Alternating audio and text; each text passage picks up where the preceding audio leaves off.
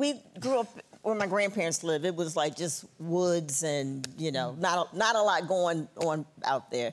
So the thing that would entertain us would be when the mosquito man would show up.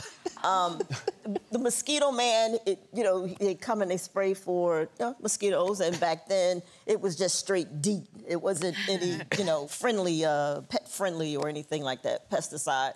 So he would show up, and to us it was like the ice cream man. You know, other neighborhoods would get ding, ding, ding, ding, ding, but we would, and